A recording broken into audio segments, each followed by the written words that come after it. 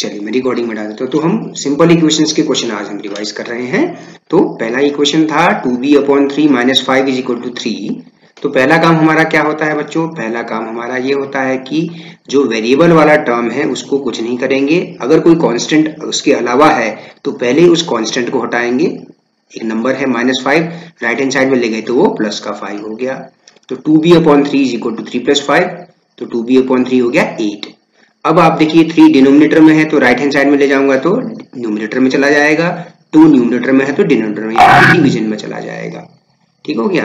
और टू से to four जा एट तो यहाँ पर फोर थ्री जा ट्वेल्व तो आपका आंसर आ गया b is equal to twelve एक और क्वेश्चन हम देख yes, लेते हैं एक और इक्वेशन हम देख लेते हैं। Two into x plus four two into x plus four is equal to twelve तो आप क्या करिए आप टू को इस ब्रैकेट के अंदर दोनों टर्म्स में मल्टीप्लाई करेंगे आप। ठीक है टू इंटू एक्स हो गया टू एक्स और टू इंटू फोर हो गया प्लस का eight is equal to twelve अब आप इसको वही तरीका है वेरिएबल वाले टर्म को रहने देंगे। एक स्टूडेंट है ज्योति भट्ट उनको समझ नहीं आ रही थी एक्सरसाइज इसलिए ये क्वेश्चंस मैं ले रहा हूँ। Two x is equal to twelve minus eight हो गया फोर तो x is equal to four divide by two तो आपको मिल गया x is equal to two two will be your चलिए एक इक्वेशन में लिख रहा हूँ। Sixteen is equal to four plus three into t plus two सबसे पहले हम क्या करेंगे? सबसे पहले हम क्या करेंगे बेटा? पूरी संख्या को सर आगे ले आएँगे और 16 को पीछे ले जाएँगे। अरे सीधा सीधा बोलो। सीधा सीधा बोल दो कि आप आप क्या कर दो? इंटरचेंज कर दो साइड्स को कंप्लीटली साइड को इंटरचेंज कर दो। आगे पीछे क्या बोल रहे हो? सिंपली आप इंटरचेंज कर दो एक दूसरे से बदल दो। लेफ़्ट हैंड साइड को राइट हैंड साइड में रख दो राइट हैंड साइड को लेफ़्ट हैंड साइड में रख दो। इंटरचेंज कर दो आप। तो four plus three into t plus two. पूरा का पूरा आपने इंटरचेंज करना होगा पूरी साइड ठीक है? तो अब आप इसको आगे को सॉल्व कर लेंगे। तो फोर प्लस थ्री को अंदर मल्टीप्लाई करिए टी प्लस टू। इस एक्सप्रेशन में मल्टीप्लाई करिए तो थ्री टी और plus three into plus two हो गया प्लस का सिक्स ओके okay, तो अब क्या बन गया यहाँ पर आप बताइए मुझे।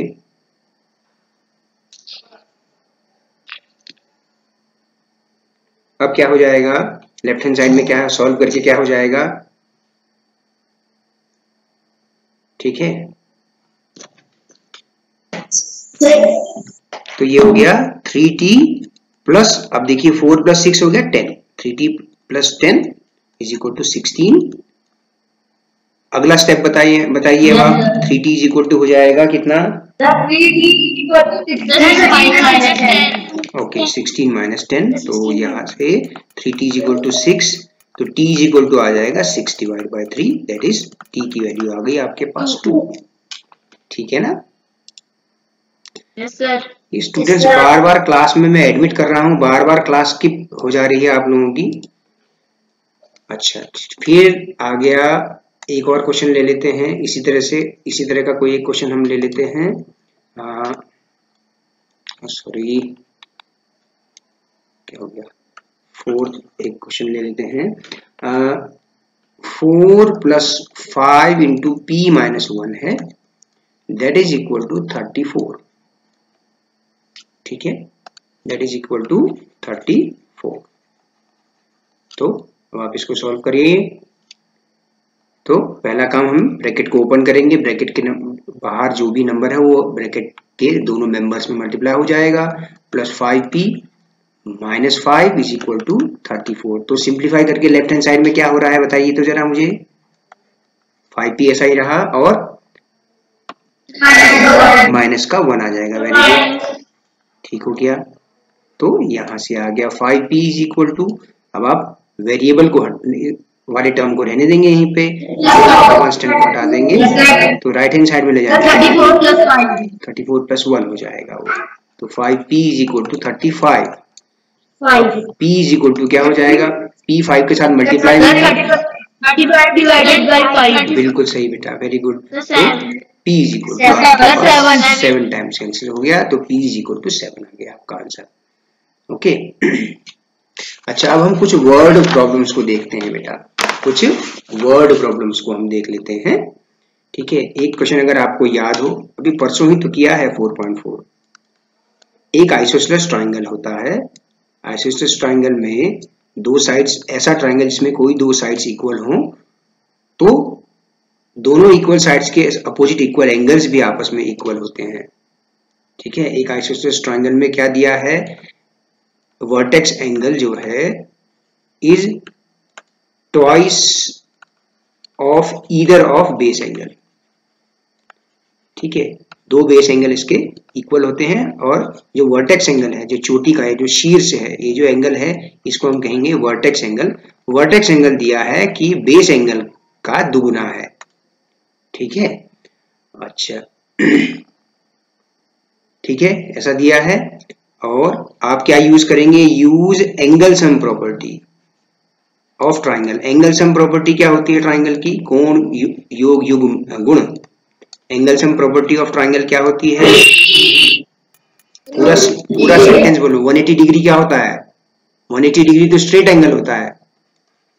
180 डिग्री कह रहे हो? 180 डिग्री पूरे अभी भी गलत बोल रहे हो। पूरे सेंटेंस दोबारा से बोलो। The sum of all angles सारे एंगल्स का सम ट्राइंगल का सम नहीं। Sum of angles of triangle is 180 degree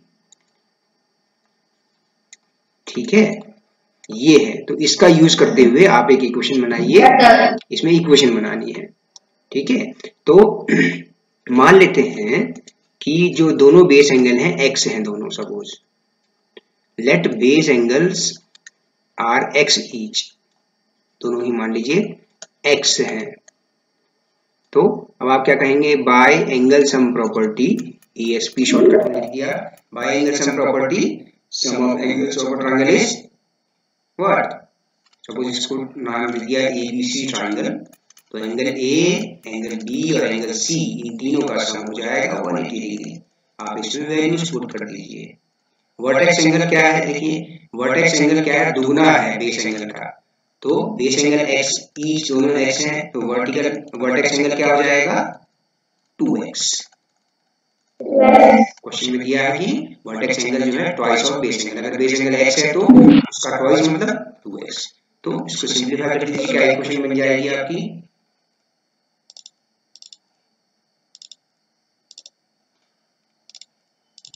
equation को सॉल्व करिए तो क्या बन गई equation 2x plus x plus x कितना हो गया?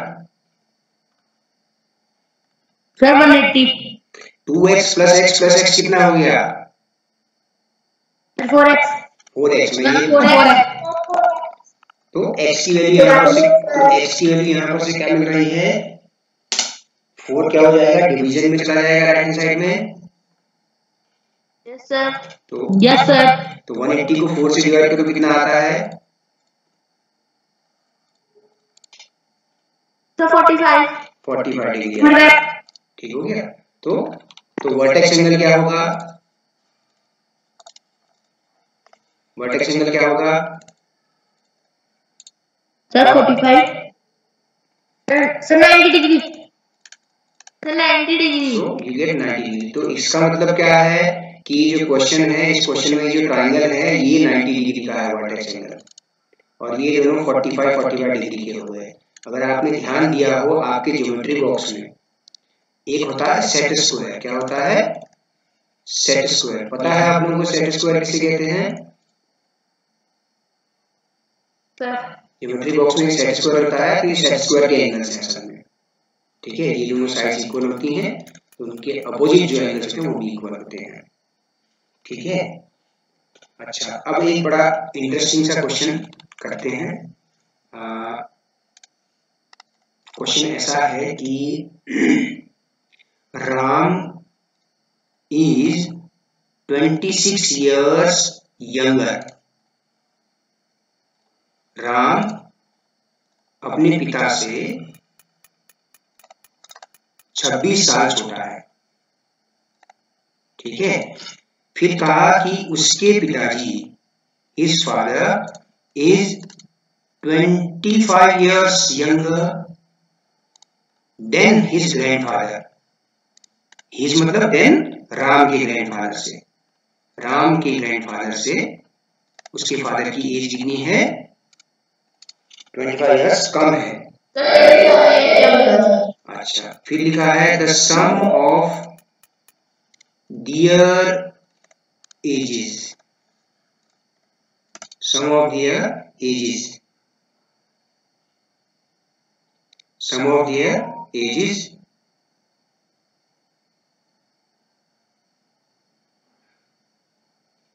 Is question में क्या दिया होगा? 107 इयर्स 107 ही है क्या चेक करना एक बार। ठीक है? समझ में आया? Find age of Ram Ram की एज फाइंड करिए। राम की एज फाइंड करिए। तो राम की एज कितनी होगी ये बताना है आपको। अच्छा ये 166 है ठीक है? इन तीनों का इसको ठीक कर लेता इन तीनों की एज का सम क्वेश्चन ठीक कर लेता हूँ रखिए इन तीनों की एज का सम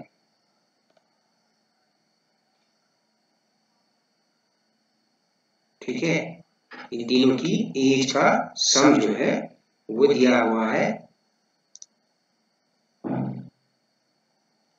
122 इयर्स ठीक है इन तीनों की एज का सम 122 इयर्स है आपको राम की एज फाइंड करनी है। ठीक है? मान लेते हैं राम की एज एक्स ईयर्स है। Let Ram's age is x years मान लीजिए राम की एज क्या हो गई? एक्स ईयर्स तो उसके फादर की एज आप बता सकते हैं मुझे?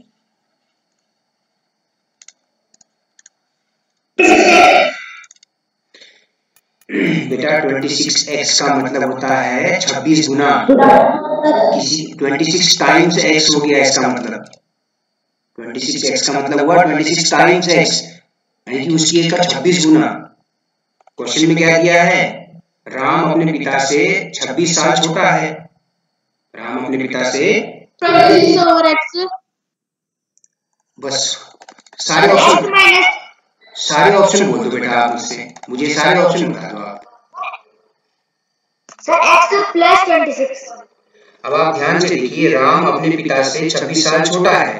तो इसका मतलब उसके पिताजी उससे 26 साल बड़े हैं राइट ये तो मतलब हुआ। यस सर है कि नहीं?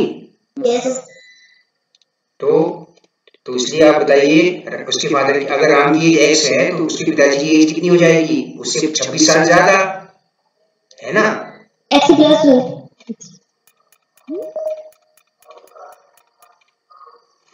x plus twenty six years हो जाएगी, है ना? अब आप जी बोल रहे हैं twenty six upon x twenty six x पता नहीं क्या क्या बोले चले जा रहे हैं। ये तीनों ही चीज़ें गलत बता रहे हो आप मुझे। राम अपने पिता से 26 साल छोटा है तो उसके पिता राम से 26 साल बड़े हो गए यानी कि जो भी राम की एज होगी, उससे उसमें आप 26 ऐड करेंगे तो उसके फादर की एज मिल जाएगी। ठीक है? अब क्या दिया है? हिज ग्रैंडफादर्स एज उसके ग्रैंडफादर की एज बता बताइए आप मुझे, देखिए, उसके ग्रैंडफादर की एज क्या है? फादर्स की एज में कितना ऐड करोगे? उसके ग्रैंडफादर ट्वेंटी फाइव उसके फादर उसके ग्रैंडफादर पच्चीस साल छोटे हैं तो इसलिए उसके ग्रैंडफादर पच्चीस साल बड़े हो गए उसके फादर से। तो फादर की एज क्या लिखी है हमने? एक्स प्लस ट्वेंटी सिक्स उसमें आप ऐड कर दीजिए फादर की एज में ट्वेंटी फाइव तो आपके पास कितना आ गया? एक्स प्लस कितना आ गया? X plus fifty one years ठीक है? तीनों की एज हमने एक्स के टर्म में निकाल दी तीनों की एज का सम निकाल दीजिए। तीनों की एज का सम निकाल दीजिए। ठीक है? तीनों की एज का सम निकालिए। तो तीनों की एज का sum x plus x plus twenty six plus x plus fifty one ठीक हो गया? क्लियर है सभी को? यस तीनों की एज हमने ऐड कर दी है ना? तो ये आ गया three x plus seventy seven ठीक है? तो अब आप देखिए यहाँ पर। अच्छा मैंने ये लिखा, उन तीनों की एज का सम कितना है? 122 है। दिया है क्वेश्चन में है ना? तो ये आ गया x प्लस x प्लस ये हो गया 3x 26 और 51 हो गया 77 इज़ इक्वल टू 122 ठीक हो गया? हमने क्या किया? फिर से देखिए क्वेश्चन को एक बार फिर से देखिए। ये केस स्टडी टाइप का क्वेश्चन है। Ram is 26 years younger than his father Ram अपने पिता से 26 साल छोटा है, यानी कि उसके पिता राम से 26 साल बड़े हैं। अगर राम की एज मैंने अगर x लिखी तो राम के फादर की एज x प्लस ट्वेंटी हो गई। फिर लिखा है कि हिज फादर राम के फादर राम के दादाजी से 25 साल छोटे हैं, यानी कि राम के दादाजी उसके पिताजी से 25 साल बड़े हैं। तो इसलिए पिताजी की age x plus twenty six उसमें आप ट्वेंटी फाइव एड कर दीजिए तो x plus fifty one years या उसके ग्रैंडफादर की एज आ गई। तो कुल मिला के क्या समझ में आ रहा है? राम और राम और उसके ग्रैंडफादर की एज में कितने साल कितने साल बड़े हैं उसके ग्रैंडफादर राम से? हमने एक्स के टर्म्स में तीनों की एज लिख ली और उनको ऐड करके लिख दिया कि 20 122 इयर्स है। तो हमने 122 के इक्वल कर दिया। तो x plus x plus x three x हो गया और twenty six plus fifty one seventy seven हो गया। तो आप यहाँ से सिंप्लीफाई करिए seventy seven right hand side में चले जाएगा चला जाएगा तो माइनस का सेवेंटी सेवन हो जाएगा। तो ये आया कितना? Twelve minus is five eleven minus four eleven seven forty five आया। तो एक्स इज़ इक्वल टू क्या आ गया? Forty five upon three three x is equal forty five आया थ्री से फिफ्टीन टाइम्स कैंसिल हुआ? तो x is equal to fifteen तो ये क्या है? राम की एज है, राम से एज हमसे क्वेश्चन पूछा है राम से तो ये राम की एज है। अगर मैं कहूँ उसके फादर की एज निकालिए तो आप निकाल सकते हैं बड़ी आसानी से। एक्स की वैल्यू पता लग गई तो उसके फादर की एज कितनी है? एक्स प्लस ट्वेंटी सिक्स है है ना? तो 15 प्लस 26 यानी कि उसके फादर की एज हो गई 41 इयर्स अगर आप उसके ग्रैंडफादर की एज निकालना चाह रहे हैं ग्रैंडफादर्स एज है x प्लस फिफ्टी वन ये लिखिए यहाँ पर तो x प्लस फिफ्टी वन यानी कि 15 प्लस फिफ्टी वन कितना हो गया? 66 इयर्स हो गया। अब अपना आंसर चेक हम कैसे करें? हम तीनों की एज को ऐड करके देख लेते हैं। 15 41 उसके फादर की एज और उसके ग्रैंडफादर की एज 66 इन तीनों को ऐड करके देखिए। 5 plus 1 6 plus 6 12 2 carry on 1 six six twelve तो वन ट्वेंटी टू आ गया है? ना तो इसलिए हमारा आंसर क्या है? सही आ गया। ठीक हो गया? क्लियर है बेटा इस तरह क्वेश्चन क्वेश्चन क्या है? ये कॉम्पिटेंसी बेस्ड एक इस तरह का क्वेश्चन है कॉम्पिटेंसी बेस्ड क्वेश्चन है। ठीक है इस तरह के क्वेश्चन भी एग्ज़ाम में होंगे है ना? अच्छा। अब हम बात करें हम्म, एक और क्वेश्चन लेते हैं। कौन सा क्वेश्चन लें स्टूडेंट ज्वाइन कर लिए ज्वाइन कर लेता हूँ क्लास में। अच्छा। अब हम ले लेते हैं एक और question question number six suppose ठीक है? यस सर आप कहेंगे कि Ram thinks of a number Ram एक नंबर के बारे में सोचता है। ठीक है? अब क्या कहती है? अब जो रहीम है, उसको कहता है रहीम से कि रहीम ने राम राम, रहीम राम से कहा कि तुम मुझे नंबर मत बताना, जो सोचा है, ठीक है, जो भी नंबर आपने सोचा है। रहीम ने क्या कहा? कि जो भी नंबर आपने सोचा है, ठीक है, उसमें चार का गुणा करके पाँच जोड़ दो बोला।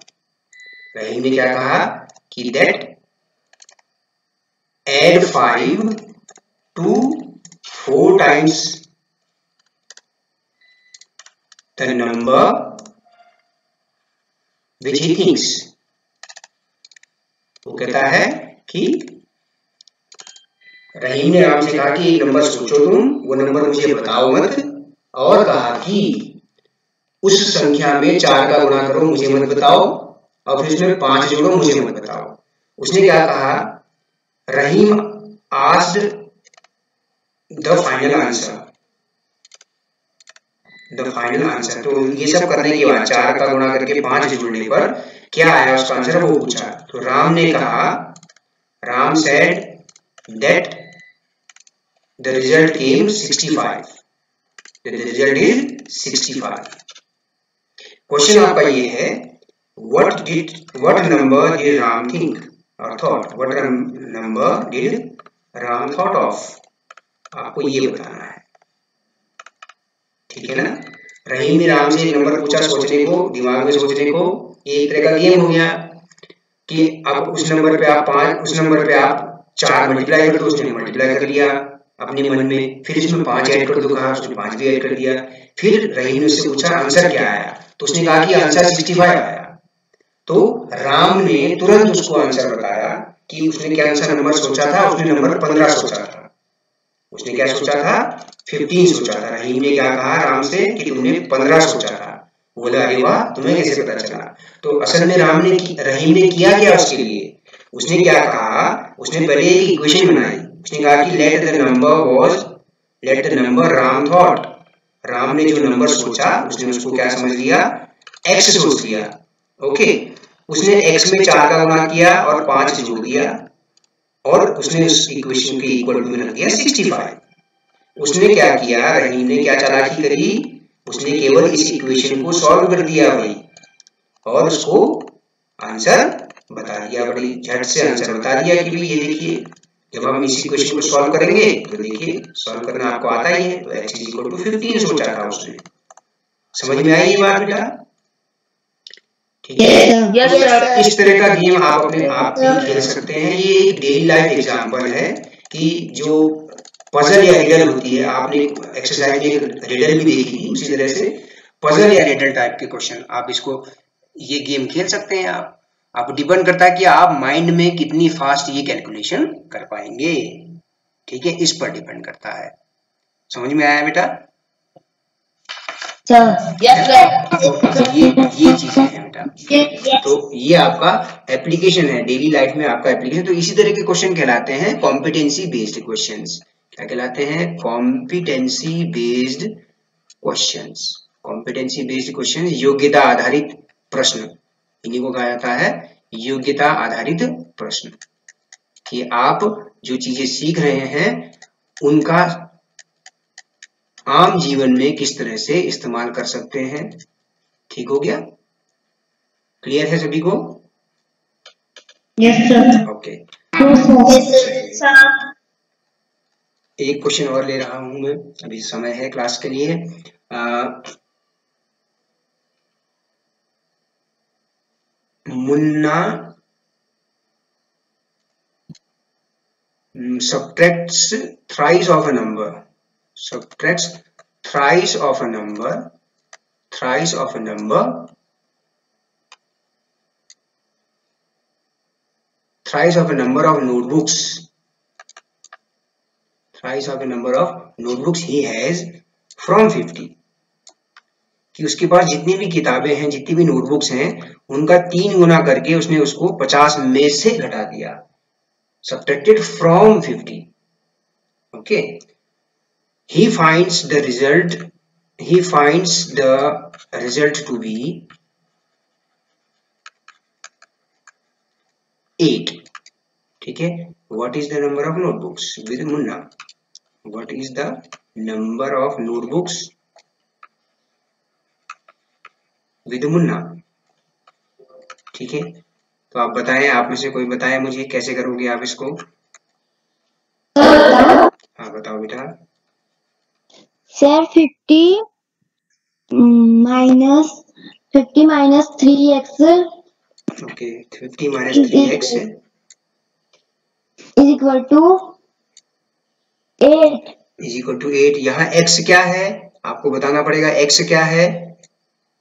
एक्स मान लेते हैं। किताबें। मान लो कि x जो है नंबर ऑफ़ नोटबुक से वेरिएबल को डिफाइन भी तो करोगे। Define the variable also no अच्छा अब आप इसको सॉल्व कर दीजिए इस इक्वेशन को। तो minus three x is equal to eight अब ये फिफ्टी में राइट हैंड साइड में ले गया हूँ ये फिफ्टी पॉजिटिव है।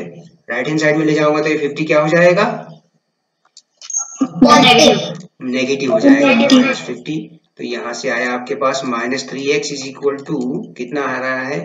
माइनस का फोर्टी टू ओके तो x is equal to minus forty two divide by minus three ठीक है बच्चों? तो माइनस से माइनस तो आपका हो गया कैंसिल थ्री से फोर्टीन माइनस माइनस का तो उसके पास कितनी नोटबुक्स हैं? फोर्टीन नोटबुक्स हैं। तो मुन्ना के पास फोर्टीन नोटबुक्स है। पचास में से आप बयालीस घटाइए तो आठ ही आता है है ना? नोटबुक्स का तीन गुना मतलब बयालीस फोर्टी टू हो गया। और फिफ्टी में से फोर्टी टू घटाइए तो आपको एट ही मिलेगा। ठीक हो गया? क्लियर है बेटा? जाएँगे क्वेश्चन आपको जो भी स्टेटमेंट क्वेश्चन में दिया हो स्टेटमेंट वाले जो क्वेश्चन है वर्ड प्रॉब्लम्स इसको कहते हैं तो स्टेटमेंट वाले क्वेश्चन में आपने कुछ नहीं घबराना है। आप उस स्टेटमेंट को कम से कम दो बार पढ़िए। उसके बाद सोचिए कि अब आपने वेरिएबल क्या वेरिएबल किसको मानना है? कि जो आपने लेट किया सपोज़ किया वो एक्स आपने किसको मानना है? तो उसके बाद इक्वेशन सेटअप करिए और सॉल्व कर दीजिए। ठीक हो गया? यही सबसे बढ़िया तरीका है इस तरह के क्वेश्चन करने का कि प्रैक्टिस करिए आप रेगुलर इस तरह के वर्ड प्रॉब्लम्स की प्रैक्टिस करिए। ठीक हो गया? अच्छा। अब जैसे मैंने लिखा मैंने लिखा seventeen p seventeen p minus ten seventeen p minus ten is equal to twenty four ठीक है? तो आप क्या करेंगे पहले?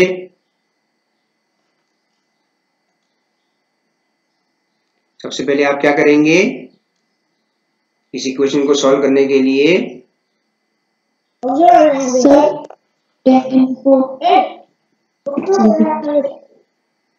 हाँ टेन को राइट हैंड साइड में माइनस टेन को नॉट टेन माइनस टेन है बेटा यहाँ पे ओके माइनस टेन को राइट हैंड साइड में ले जाएँगे तो प्लस का टेन हो जाएगा राइट हैंड साइड में शिफ्ट किया तो। तो यहाँ से आपको मिला seventeen is equal to thirty four तो यहाँ से आपको मिल गया। P is equal to thirty four divide by seventeen तो सेवनटीन टू जा thirty four p is equal to ठीक है, अब मैं आपको एक क्वेश्चन